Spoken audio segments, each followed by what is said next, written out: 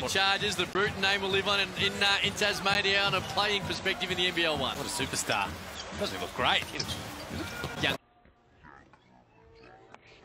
Every time I see him, Sotto